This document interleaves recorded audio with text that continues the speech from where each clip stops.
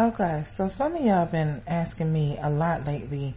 Do you feel like it's appropriate for folks to know that you're in a relationship?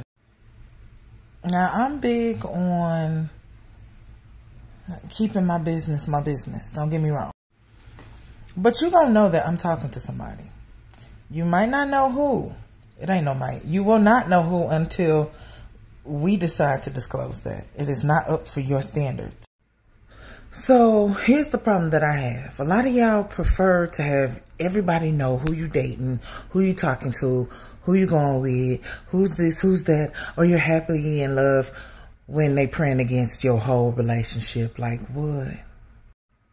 You got a homegirl right now that's probably looking at your marriage, your relationship, and just like, I'm just waiting for this bitch to fuck up.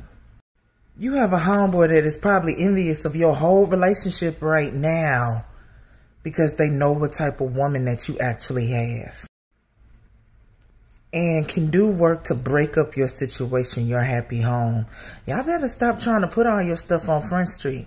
Now, here's the other part that I have a problem with though. The part is when you are talking to somebody and the other party cannot mention that they are talking to somebody, that's a red flag. They don't have to say who you are.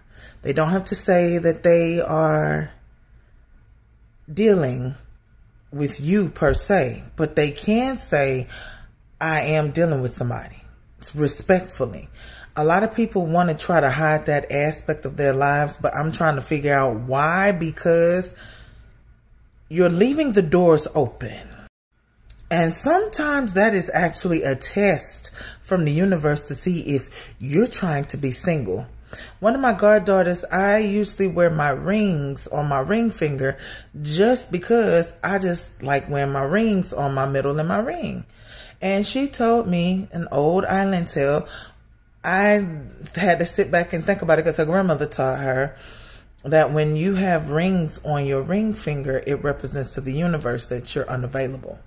So I stopped wearing them on my on my ring finger. I still wear it on my middle finger, but I don't wear anything on the ring finger too much anymore. So that goes back to when you can't claim the person that you're dealing with per se, or say that you're talking, or you're being so mysterious to where now I'm questioning it because you're not decent enough to actually at least show that you are in a situation or a relationship, we got problems.